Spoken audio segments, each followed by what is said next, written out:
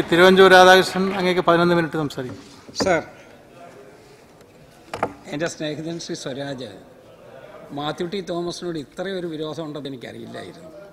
അദ്ദേഹം പറഞ്ഞ ഇടതുപക്ഷ ജനാധിപത്യ മുന്നണി അധികാരത്തിൽ വന്നതുകൊണ്ടാണ് കിഴക്ക് സൂര്യൻ ഉദിക്കുന്നതും പടിഞ്ഞാറ് അസ്തമിക്കുന്നതും എന്ന് വരെ പറഞ്ഞു വെച്ചു.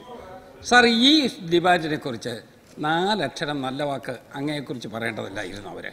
ഞങ്ങളുടെ ഞങ്ങളുടെ രാഷ്ട്രീയ ധർമ്മം വേറെയാണ്. അതുകൊണ്ട് സ്വാഭാവികമായിട്ടും ഞങ്ങളിൽ അങ്ങ് അത് പ്രതീക്ഷിക്കുകയില്ല. പക്ഷേ ഇവിടെ ഏറ്റവും പ്രധാനപ്പെട്ട ഇടതുപക്ഷ ജനാധിപത്യ മുന്നണിയുടെ ഒരു വക്താവ് സംസാരിക്കുന്ന സമയത്ത് ഇതിനെക്കുറിച്ച് രണ്ടക്ഷരം നല്ല വാക്ക് പറയാനില്ലാത്തത് കൊണ്ട് അദ്ദേഹം എന്ത് ചെയ്തു? അദ്ദേഹം കുറുക്കി ചാടി മറ്റ് രാഷ്ട്രീയ കാര്യങ്ങൾ സാധാരണഗതിയിൽ. തൃപ്പൂണിത്തറ ഒരു മൈതാനത്ത് പ്രസംഗിക്കുന്ന രൂപത്തിൽ വിശാലമായി സംസാരിച്ചു. ഞാൻ അങ്ങേക്ക് അഭിവാദ്യം നേരുകയാണ്. സാർ ഇവിടെ പ്രധാനപ്പെട്ട ഞാൻ എന്റെ ഒരു ഡിമാൻഡിലേക്ക് വരിക. സാർ ഇവിടെ ഇപ്പോൾ വെള്ളത്തിന്റെ കാര്യത്തിനകത്ത് ജനങ്ങളെ വെള്ളം കുടിപ്പിക്കുന്ന ഒരു പണിയാണ് ഇപ്പം ചെയ്തുകൊണ്ടിരിക്കുന്നത്. സാർ അത് വിട്ട് ജനങ്ങൾക്ക് വെള്ളം വിതരണം ചെയ്യുന്ന ഒരു നടപടിയിലേക്ക് പോകണം. സാർ ഇവിടെ വെള്ളം ഇവിടെ ഇവിടെ വെള്ളം അതുണ്ടെങ്കിൽ അവിടെ കൊടുക്കാൻ പറ്റുന്നിടത്തങ്ങ് കൊടുത്താൽ മതി. സാർ അതുകൊണ്ട് ഇവിടെ സാർ എന്നോട് ഞാൻ സംസാരിക്കുന്ന സമയത്ത് എന്നോട് പറഞ്ഞാൽ ചിലപ്പോൾ ഞാൻ പറയുന്നത് മുഴുവൻ കേൾക്കേണ്ടി വരും. അത് പിന്നെ വേറെ ഒരു ഇതാ ഇതാണെന്നൊന്നും പറയുകയും ചെയ്യരുത്. സാർ ഇവിടെ. മഴവെള്ളം എത്ര ഒരു വർഷത്തിൽ മഴവെള്ളം എത്ര ടി എം സി വെള്ളമാണ് സാർ കടലിലോട്ട് പോകുന്നത്? സാർ നെയ്യാർ ഡാമിൽ നമുക്ക് വിളവങ്കോട്ടിലേക്ക് വെള്ളം കൊടുക്കാൻ എൽ ഡി എഫ് അല്ലേ തീരുമാനമെടുത്തത്? ഒരു ഒരു വാട്ടർ കോഴ്സിൽ നിന്ന് മറ്റൊരു വാട്ടർ കോഴ്സിലേക്ക് സ്റ്റേറ്റ് മാറി കൊടുക്കുകയാണെങ്കിൽ ഈ നിയമസഭയുടെ അംഗീകാരം വേണമെന്നുള്ള നിബന്ധനയ്ക്കകത്ത് നിന്ന് അവർ ഈ വിളവങ്കോട്ടിലേക്ക് വെള്ളം കൊടുത്തു. പക്ഷേ കേരളത്തിൽ ഇപ്പോൾ വെള്ളമില്ല. സാർ ആളിയാർ മൂന്ന് ഒരു അവിടെ മൂലത്തറയിൽ ചിറ്റൂർ പുഴയുടെ അടുത്ത് രണ്ട് മൂന്ന് ഒരു തടയണ പടുതാൻ. നമുക്ക് അവിടെ ആ പ്രശ്നം പരിഹരിക്കാൻ മേലെ ആ പാലക്കാട്ട് വെള്ളം കിട്ടില്ലേ? കൃഷ്ണൻകുട്ടി ഇതുപോലെ വെള്ളം കുടിക്കേണ്ട കാര്യം ഉണ്ടായിരുന്നോ? സർ ഇവിടെ നമുക്ക് ഈ രൂപത്തിൽ ഗവൺമെന്റിന് ചെയ്യാൻ പറ്റുന്ന ഒരു കാര്യവും ചെയ്യുന്നില്ല. സർ കാവേരി സെല്ല പിരിച്ചുവിടാൻ പോകുന്നു എന്നുള്ള അഭ്യൂ അഭ്യൂഹമാണ് അവിടെ നിന്നുള്ള ആളുകൾ സംസാരിച്ചപ്പോൾ എനിക്ക് മനസ്സിലായത്. സർ ഏറ്റവും നിർണായകമായ സന്ദർഭമാണിത്. കാരണം ജൂൺ മാസത്തിൽ കാവേരി ട്രിബ്യൂണലിൽ തമിഴ്നാട് കൊടുത്തിരിക്കുന്ന അവിടുത്തെ റിവ്യൂ പെറ്റീഷൻ വരികയാണ്. ആ റിവ്യൂ പെറ്റീഷൻ വരുന്ന സന്ദർഭത്തിൽ കേരളത്തിന്റെ ഉണ്ടായിരുന്ന സെല്ല് കൂടി പിരിച്ചുവിട്ടാൽ സാർ ആർക്കാ അത് ഗുണം ചെയ്യുന്നത്? തമിഴ്നാടിന് വേണ്ടി ഒത്താശ ചെയ്യുന്ന ഒരു ഗവൺമെന്റാണ് ഈ സംസ്ഥാനത്തെ ഗവൺമെന്റ് എന്നുള്ള നിലയിലേക്ക് വരികയല്ലേ. സാർ ഇവിടെ ബാണാസുര സാഗരൻ കാരാപ്പുഴ പദ്ധതിയിലുമായിട്ട് നമുക്ക് കിട്ടിയ മുപ്പത് ടി എം സി വെള്ളം വിനിയോഗിക്കുന്നതിന് എന്തെങ്കിലും നടപടി വേണ്ടേ? കാവേരി ട്രിബ്യൂണൽ നമുക്ക് തന്നതാ. പക്ഷേ എന്തെങ്കിലും നടപടിയുണ്ടോ സാർ? എന്തെങ്കിലും നടപടിയുണ്ടോ വെള്ളമില്ലെന്ന് പറഞ്ഞ് ബഹളമുണ്ടാക്കുന്നതല്ലാതെ കിട്ടിയ വെള്ളം വിനിയോഗിക്കുന്നതിന് വേണ്ടി എന്തെങ്കിലും നടപടിയുണ്ടോ? സാർ രണ്ടര ടി എം സി വെള്ളം മാത്രമാണ് ഈ മുപ്പത് ടി എം സിക്കകത്ത് നിന്ന് നമ്മൾ ആകപ്പാടെ വിനിയോഗിച്ചിട്ടുള്ളത്. പാമ്പാറും നൂൽപ്പുഴയും കല്ലമ്പാരിയിലും അട്ടപ്പാടിയിലും കബനിയിലും ഈ പദ്ധതി കൊണ്ട് നമുക്ക് ഗുണം ചെയ്യാൻ പറ്റുമായിരുന്നു. പക്ഷേ ഒന്നും ചെയ്തില്ല. ഒന്നും ചെയ്തില്ല എന്നുള്ളതിന്റെ തെളിവാണ് എന്റെ സ്നേഹിതൻ ശ്രീ സൂരജ് സുരാജ് ഇതിനെക്കുറിച്ച് ഒന്നും പറയാതിരുന്നത്. സാർ ഇവിടെ ഈ ഗവൺമെന്റ് അധികാരത്തിൽ വന്നതിന് ശേഷം ഇവർക്ക് ചെയ്യേണ്ട എന്തെങ്കിലും കാര്യങ്ങൾ ചെയ്യുന്നുണ്ടോ? സാർ കുടിവെള്ളം കൊടുക്കുന്നതിന് വേണ്ടിയുള്ള നടപടി എടുത്തു എന്ന് പറഞ്ഞു. സാർ കിയോസ്ക് വഴി കുഴൽക്കിണർ വഴി കൃത്രിമ മഴ പെയ്യിച്ച് ഈ മൂന്ന് രൂപത്തിലാണ് ഈ വരൾച്ചയെ നേരിടും എന്ന് പറഞ്ഞത്. സർ കേരളത്തിൽ എവിടെയാ കൃത്രിമ മഴ പെയ്തത്? ഞങ്ങൾക്കാർക്കും പിടിയില്ല അപ്പുറത്ത് ആർക്കെങ്കിലും പിടിയുണ്ടെ പറയണം. എവിടെ കേരളത്തിൽ എവിടെയാ കൃത്രിമ മഴ പെയ്തത്? സർ എവിടെ എത്ര കിയോസ്ക് കൊടുത്തു? അതിനെ കുറിച്ചുള്ള കണക്ക് പറയണ്ടേ? സർ കുഴൽക്കിണർ. സർ ഒന്നും ഉണ്ടായിട്ടില്ല. കാര്യമായിട്ടുണ്ടായിട്ടില്ല ചിലതൊക്കെ ഉണ്ട്. പക്ഷേ കാര്യമായിട്ടൊന്നും ഉണ്ടായിട്ടില്ല. സർ ഇവിടെ കിണർ നിറയ്ക്കുന്നതിന് വേണ്ടി ഒരു പദ്ധതി ഗവൺമെന്റ് പറഞ്ഞിരുന്നു. എത്രയാ പദ്ധതി? അതിനു വേണ്ടി നാനൂറ്റി പന്ത്രണ്ട് കോടി രൂപയുടെ പ്രഖ്യാപിച്ചതാ. സാർ എന്തായി? ഈ പറഞ്ഞല്ലോ ഈ നൂറ്റാണ്ടിലെ ഏറ്റവും വലിയ വരൾച്ച. ആ വരൾച്ചയെ നേരിടുന്നതിന് വേണ്ടി കിണർ നിറയ്ക്കുന്നതിന് വേണ്ടിയുള്ള പദ്ധതി കൊണ്ടുവന്നു. നാനൂറ്റി പന്ത്രണ്ട് കോടി രൂപയുടെ പദ്ധതി വന്നു. പക്ഷേ ആയിരം പോലും നടന്നിട്ടില്ല എന്നുള്ളതാണ് റിപ്പോർട്ടുകൾ സൂചിപ്പിക്കുന്നത്. സാർ ഈ ഗവൺമെന്റ് പിന്നെ എന്ത് വലിയ കാര്യം ചെയ്തു എന്നാ പറയുന്നത്? സാർ ഇവിടെ വാട്ടർ കൺസർവേഷന് വേണ്ടി എന്തെങ്കിലും നടപടി ഉണ്ടായിട്ടുണ്ടോ? സാർ ഇവിടെ ജലം ഇവിടെ തടഞ്ഞു നിർത്തുന്നതിന് വേണ്ടി എന്തെങ്കിലും നടപടിയുണ്ടോ? ഭൂഗർഭ ജലത്തിന്റെ അളവ് കുറയുന്നു. വിമർശനം എല്ലായിടത്തും അപ്പുറത്തും ഇപ്പുറത്തും വന്നല്ലോ. സർ അതിന്റെ അത് മെച്ചപ്പെടുത്തുന്നതിന് വേണ്ടി എന്തെങ്കിലും നടപടിയുണ്ടോ? സാർ നൂറ്റി അമ്പത്തിരണ്ട് ബ്ലോക്കിനകത്ത് ഇരുപത്തിയാറ് ബ്ലോക്കിലും നമ്മളുടെ വാട്ടർ ടേബിൾ താന്നുകൊണ്ടിരിക്കുകയാണ്. ഈ ഗവൺമെന്റ് എന്ത് ചെയ്തു? സാർ ഒന്നും ചെയ്യേണ്ട. അങ്ങ് നാല് പമ്പ് മേടിച്ചു വെച്ച് ഈ തോട്ടിൽ വെള്ളം അടിച്ച് കയറ്റിയാലെങ്കിലും നാട്ടിലെ കിണറ്റിൽ വെള്ളം എത്തുകയില്ലേ?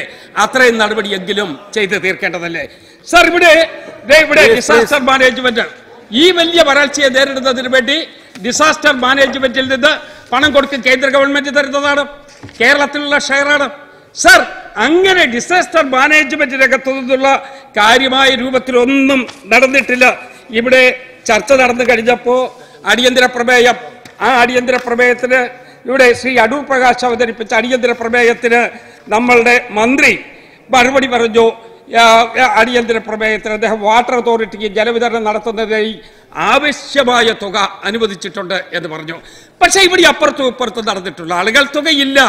വേണ്ട വിധത്തിൽ നടപടികളൊന്നും നടന്നിട്ടില്ല എന്നുള്ള കാര്യങ്ങളിലെ പറഞ്ഞുകൊണ്ടിരിക്കുന്നത്. സാർ കേന്ദ്ര സഹായത്തോടു കൂടിയുള്ള പദ്ധതികൾ ഈ കേരളത്തിൽ ആ പദ്ധതികൾക്കുള്ള എന്ത് തടഞ്ഞു പോകാൻ കാരണം? Sir Atal mission for rejuvenation and urban transformation പദ്ധതി. സാർ ഈ പദ്ധതിക്കകത്ത് അഞ്ഞൂറ്റി എൺപത്തിയേഴ് പോയിന്റ് നാല് എട്ട് കോടി രൂപ ഇരുപത്തിയാറ് മൂന്ന് രണ്ടായിരത്തി പതിനാറ്. ആ ഡേറ്റ് ഒന്ന് ഓർത്തോണം. ഇരുപത്തിയാറ് മൂന്ന് രണ്ടായിരത്തി പതിനാറിൽ അനുവദിച്ചു. സാർ ഫിഫ്റ്റി ഫിഫ്റ്റി ഷെയറിംഗ് ആണ്. Fifty government of India fifty നമ്മുടെ സംസ്ഥാനത്തെ ഗവൺമെന്റ് കേന്ദ്രം ഇരുന്നൂറ്റി എൺപത്തി ഏഴ് കോടി രൂപ പോയിന്റ് ഒമ്പത് എട്ട് കോടി രൂപ അവരനുവദിച്ചു ഈക്വൽ ഷെയറിംഗിന്റെ അടിസ്ഥാനത്തിൽ. ആദ്യത്തെ ഇൻസ്റ്റാൾമെന്റ് അമ്പത്തിയേഴ് പോയിന്റ് ആറ് കോടി രൂപ നമുക്ക് കിട്ടി. സാർ അതിൽ കാ കാശ് ഈ വരൾച്ച കാലഘട്ടത്തിൽ നമുക്ക് ചെലവഴിക്കാൻ പറ്റിയോ? സാർ ഇവിടെ നമ്മൾ ഭംഗിവാക്ക് പറഞ്ഞിട്ട് കാര്യമില്ലല്ലോ. ഇവിടെ നൃത്തവും ഡാൻസും കുച്ചിപ്പിടിയും ഒന്നുമല്ലല്ലോ. ഇവിടെ ആവശ്യം പാവപ്പെട്ട ആളുകൾക്ക് വെള്ളം കൊടുക്കണ്ടേ ആ വെള്ളം കൊടുക്കുന്നതിന് വേണ്ടിയുള്ള നടപടി ഉണ്ടാവണ്ടേ ആ ഒരു നടപടിയും സാർ ഇവിടെ കാര്യമായിട്ട് ഉണ്ടായിട്ടില്ല. അതുകൊണ്ട് ഇങ്ങനെയുള്ള കാര്യങ്ങൾ പറയാൻ കഴിയാത്തത് കൊണ്ട് ഈ കൈപ്പുള്ള ഗവൺമെന്റിനെ ഷുഗർ പ്ലോട്ടിങ്ങിലൂടെ ജനമധ്യത്തിൽ കൊണ്ടുവരുന്നതിന് വേണ്ടി മനഃപൂർവമായി രാഷ്ട്രീയം ഇവിടെ പറഞ്ഞ് തീർക്കുകയാണ്. സാർ ഇവിടെ ഈ ഗവൺമെന്റ് അധികാരത്തെ ഞാൻ രാഷ്ട്രീയം പറയാനിരുന്നതല്ല. എന്റെ സ്നേഹിതൻ അയാൾ എന്റെ അനിയനാണെങ്കിലും ഒരു കാര്യം അദ്ദേഹം പറഞ്ഞൊരു മാതൃക ഞാൻ എടുക്കുകയാണ് കാരണം രാഷ്ട്രീയം പറഞ്ഞില്ലെങ്കിൽ ശരിയാവില്ല എന്നാണ് അദ്ദേഹം പറഞ്ഞത്. ഞാനും സമ്മതിക്കുന്നു. രാഷ്ട്രീയം പറഞ്ഞില്ലെങ്കിൽ ശരിയാവില്ല. സാർ ഒരു ഗവൺമെന്റിനെ കൊണ്ട് ജനങ്ങൾ ആഗ്രഹിക്കുന്നത് എന്താ ജനങ്ങളെ കൊണ്ട് ഗവൺമെന്റിനെ കൊണ്ട് ജനങ്ങൾ ആഗ്രഹിക്കുന്നത് അവരുടെ ജീവനും സ്വത്തിനും സംരക്ഷണം കൊടുക്കണം. നിങ്ങൾ പുത്തരായി എന്ത് ചെയ്യണമെന്ന് ഞാൻ ഇപ്പോഴാവശ്യപ്പെടുന്നില്ല. പക്ഷേ ജീവനും സ്വത്തിനും സംരക്ഷണം കൊടുക്കണ്ടേ? രാഷ്ട്രീയ കൊലപാതകങ്ങൾ ലിസ്റ്റുകളിലെത്ത് പരിശോധിക്കണം. ഏത് കാലത്തുണ്ടായിരുന്നതിനേക്കാൾ കൂടുതൽ സർവകാല റെക്കോർഡോടുകൂടിയുള്ള രാഷ്ട്രീയ കൊലപാതകങ്ങൾ നടക്കുകയാണ്. ഒത്തുതീർപ്പ് ചർച്ച നടക്കും. ആര്? വാദിയും പ്രതിയും തമ്മിൽ രണ്ടു കൂട്ടരും രണ്ടു വശത്തിരിക്കും. ജില്ലാ കളക്ടർ നടുക്കിരിക്കും. ഇനിമേലിൽ കൊലപാതക കൊലപാതകമില്ല എന്ന് പറഞ്ഞു പോകും. പിറ്റേ ദിവസം വീണ്ടും കൊലപാതകം ആരംഭിക്കുകയാണ്. നിങ്ങൾ ഇപ്പൊ പറയുന്നത് കൊലപാതകത്തിൽ ഞങ്ങൾ കക്ഷി പിടിക്കണമെന്നാണ്. എങ്ങനെ ഒരു കൂട്ടരെ കൊന്നാൽ ഞങ്ങൾ കുന്തവുമായി നിങ്ങളുടെ കൂടെ വരണം. ഞങ്ങളും അപ്പോൾ അലവാങ്കെടുത്തുകൊണ്ട് നിങ്ങളോടൊപ്പം കൂടണം. നിങ്ങളുടെ കൂടെ നിൽക്കാനുള്ള അങ്ങനെ നിങ്ങളോടൊപ്പം കൊലപാതകത്തിന് നിൽക്കുന്ന ബി ടീമായി ഐക്യജനാധിപത്യ മുന്നണിയെ പ്രതീക്ഷിക്കണ്ട എന്ന് ഞാൻ ഓർമ്മിപ്പിക്കുകയാണ്. അതേ സമയം ന്യായം നടക്കണം. നാട്ടിൽ ന്യായം നടക്കണം. ന്യായം നടക്കുന്നതിന് വേണ്ടിയുള്ള നടപടിയിലേക്ക് പോകണം. സാർ ഈ ഗവൺമെന്റ് വന്നതിന് ശേഷം ഏഴെട്ട് പ്രധാനപ്പെട്ട കാര്യങ്ങൾ ജനങ്ങളുടെ മുമ്പിൽ നിൽക്കുകയാണ്. സാർ ആദ്യം വന്നു നമ്മളുടെ മുഖ്യമന്ത്രി അദ്ദേഹം ഞാൻ അദ്ദേഹത്തെ വ്യക്തിപരമായി ഒന്നും ആക്ഷേപിക്കുന്നില്ല. പക്ഷെ അദ്ദേഹം ചില ഉപദേശ സംഘത്തെ വെച്ചു. സാർ ആ ഉപദേശക സംഘം വന്നിട്ടും പഴയതിനേക്കാൾ മെച്ചപ്പെട്ടില്ലെന്ന് വരികിൽ സാർ അവർക്ക് പിന്നെ തൊഴിലില്ലായ്മ വേതനം കൊടുത്ത് അവരെ ഒഴിവാക്കുക എന്നുള്ളതല്ലാതെ മറ്റെന്തെങ്കിലും ചെയ്യാൻ പറ്റുമോ? Sir advocate M K Damodaran അഡ്വൈസറായി വന്നു? അഡ്വൈസർ സ്ഥാനത്ത് നിന്ന് അദ്ദേഹത്തിന് പോകേണ്ടി വന്നു? മറ്റു ചില സംഭവങ്ങളുണ്ടായി മന്ത്രിസഭയിൽ തന്നെ ആളുകൾ മാറേണ്ടി വന്നു? സാർ ഈ ഗവൺമെന്റിന് മുന്നോട്ട് പോകാൻ പറ്റാത്ത സാഹചര്യം ഉണ്ടായി ഞാനിത് പറയാൻ കാരണം ഈ ഗവൺമെന്റിന് ഒരു വർഷം തികയുന്നത് അടുത്ത ഇരുപത്തിയഞ്ചാം തീയതിയാണ്. സാർ ഇരുപത്തിയഞ്ചാം തീയതി ഒരു വർഷം തികയുന്ന സന്ദർഭത്തിൽ ഈ ഗവൺമെന്റിനെ കുറിച്ചുള്ള ഒരു സ്റ്റേറ്റ്മെന്റ് ഉണ്ടാവട്ടെ ഒരു സ്റ്റോക്ക് ടേക്കിംഗ് വേണ്ടേ. സാർ അതിനെ കുറിച്ചുള്ള ഗവൺമെന്റ് ചെയ്ത കാര്യങ്ങളെ കുറിച്ച് ഒരു പൊതുവെ ഒരു വിശകലനം വേണ്ടേ? ആ വിശകലനം വേണ്ടത് കൊണ്ട് മാത്രമാണ് ഞാൻ ഈ കാര്യങ്ങൾ ഓർമ്മിപ്പിക്കുന്നത്. സാർ നമ്മുടെ കുട്ടികൾക്ക് പോലും ജീവൻ രക്ഷിച്ചു കൊണ്ടുപോകാൻ കഴിയാത്ത സാഹചര്യമാണ് വന്നിരിക്കുന്നത്. എനിക്കൊരു ചോദ്യം ചോദിക്കാനുണ്ട്. സാർ നീറ്റിൽ ഒരു പരീക്ഷ നടന്നു ഈ പരീക്ഷയിൽ വളരെ അപമാനകരമായി ഈ കേരള സംസ്കാരത്തിനും ഇന്ത്യൻ സംസ്കാരത്തിനും ലോക സമൂഹത്തിനും ഒരിക്കലും അംഗീകരിക്കാൻ പറ്റാത്ത പത്തും പതിനേഴുമുള്ള നമ്മളുടെ പെൺകുട്ടികളുടെ ശരീരം മുഴുവൻ പരിശോധിക്കുന്നതിന് നടപടിയെടുത്തിട്ട് ആ ആളുകളെ അറസ്റ്റ് ചെയ്ത് അകത്താക്കാത്തത് എന്തുകൊണ്ടാണ് എന്നൊരു ചോദ്യം ഈ സമൂഹത്തിൽ എല്ലാവരും ചോദിക്കുകയാണ്. സർ സാഹിത്യകാരന്മാർ പ്രതികരിച്ചില്ലേ? നാട്ടിലെ പ്രധാനപ്പെട്ട ആളുകൾ അവരെല്ലാവരും പറഞ്ഞില്ലേ ഗവൺമെന്റ് എന്തുകൊണ്ട് നടപടിയെടുക്കുന്നില്ല സാർ ഈ രൂപത്തിൽ നമ്മുടെ കേരളത്തെ പ്രാകൃത കേരളമാക്കി മാറ്റുന്നത് ശരിയാണോ? അതിനെ മാറ്റിയെടുക്കുന്നതിന് വേണ്ടിയുള്ള നടപടി ഉണ്ടാകട്ടെ ദൗർഭാഗ്യവശാൽ ഒന്നും ഉണ്ടാകുന്നില്ല. മറ്റു ചില കാര്യങ്ങളെ കുറിച്ച് ഞാൻ ഇപ്പോൾ പറയുന്നില്ല അപ്പൊ ഈ നാട്ടിൽ അദ്ദേഹത്തിന്റെ സമയം കഴിഞ്ഞിരിക്കുകയാണ്. ബഹുമാനപ്പെട്ട അംഗം കുറെ കാലമായിട്ട് കേരളത്തിൽ ഇല്ലേ ഇപ്പൊ അടുത്ത കാലത്തൂടെ വന്നതാണോ? ഞാനിപ്പോ കേരളത്തിലെ കേരളത്തിലെ ഉണ്ടായിരുന്നുള്ളൂ മന്ത്രിസഭയിൽ ഇല്ലായിരുന്നു അങ്ങിപ്പോ അതിലില്ല. അതുകൊണ്ട് അങ്ങേക്ക് ഇതിന്റെ ഫയൽ മുഴുവൻ പിടികിട്ടുമെന്ന് എനിക്ക് തോന്നുന്നില്ല. അപ്പൊ അതുകൊണ്ട് ഞാനിത് ഇത് അങ്ങേടായതുകൊണ്ട് അത്രയും കടുപ്പിച്ച് പറയണ്ടെന്ന് വിചാരിച്ചതാണ് പക്ഷെ എന്നാൽ ഇത് കിട്ടിയേ അടങ്ങും എന്ന് അങ്ങൊരു വാശിയെടുത്താൽ തരാതെ എനിക്കൊരു നിവൃത്തിയില്ല. അതുകൊണ്ട് എന്നോട് സാർ ഇവിടെ ഈ കേരള സംസ്ഥാനത്ത് ഇതുപോലെ ഒരു ഒരു വർഷക്കാലം കൊണ്ട് എല്ലാ വിഭാഗത്തിൽപ്പെട്ട ആളുകളെ വിക്ഷേപിപ്പിച്ചല്ലോ. സാർ നിങ്ങൾ ഈ ഇരുപത്തിയഞ്ചാം തീയതി ഒന്നാം വാർഷികം ആഘോഷിക്കുമ്പോ ഈ ഒന്നാം വാർഷികം ആഘോഷിക്കുന്നതിന് മുമ്പ് നിങ്ങളുടെ ഗവൺമെന്റ് വന്ന ഒന്നാം ദിവസം കേരളത്തിൽ ഒരു കിലോ അരിക്ക് എന്തായിരുന്നു വില? സാർ ഒരു കിലോ അരിക്ക് അന്ന് ഇരുപത്തിയാറ് രൂപ. ഈ ഒന്നാം വർഷ വാർഷികം ആഘോഷിക്കുന്ന ഈ സന്ദർഭത്തിൽ ഒരു കിലോ അരിക്ക് എത്രയാ രൂപ? സാർ അമ്പത് രൂപ. അമ്പത് രൂപ. ഈ നിലയിൽ എല്ലാ കാര്യങ്ങളും മാറിയിരിക്കുകയാണ്. സർ വാചക അടിക്കുന്നത് കൊണ്ട് മാത്രം ഈ കാര്യങ്ങളൊന്നും തീരുമാനിക്കില്ല ഞാൻ ശ്രീ പ്രദീപിന് വഴങ്ങിയില്ല അദ്ദേഹം ചാടി ഇവിടെ വരും. അങ്ങ് നമ്മളിപ്പോ സഭ കഴിഞ്ഞ ഉടനെ ഒന്ന് മാർക്കറ്റിൽ പോവാ. രണ്ടാളും കൂടെ. അല്ല മുൻമന്ത്രി മുൻമന്ത്രി.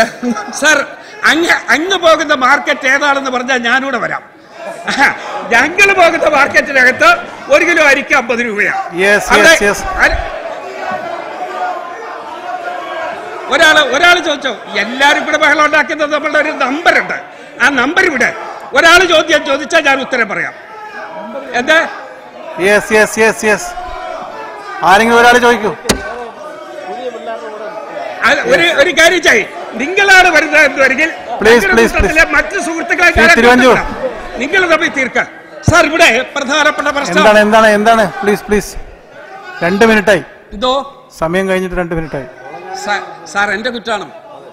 അവരെല്ലാം കൂടെ കൂടി എഴുന്നേറ്റ് നിന്ന് സാർ എന്നോട് ഇത്ര സത്യസന്ധമായിട്ട് ഈ കാര്യങ്ങൾ അംഗീകരിച്ചു പോകുന്ന നിയമം അംഗീകരിക്കുന്ന ആരാ സാർ? അതുകൊണ്ട് ഒരു അഞ്ചു മിനിറ്റ് കൂടെ എനിക്ക് ഞാനിവിടെ ആ നീതിബോധത്തോട്. ഗവൺമെന്റ് അല്ല. ഈ സംസ്ഥാനത്തെ ജനജീവിതം തകർത്തു.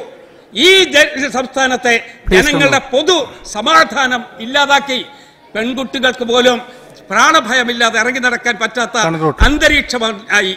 സാർ ഇതൊന്നും ഞാൻ പറയാൻ ഇരുന്നതല്ല. ശ്രീ സ്വരാജ് എന്നെ കൊണ്ട് കുത്തി പറയിപ്പിച്ചതാണ്. അതിന്റെ ക്രെഡിറ്റ് അദ്ദേഹത്തിന് കൊടുത്താൽ മതി. ഞാൻ ഈ ധനാഭ്യർത്ഥനകളെ എതിർക്കുന്നു. Thank you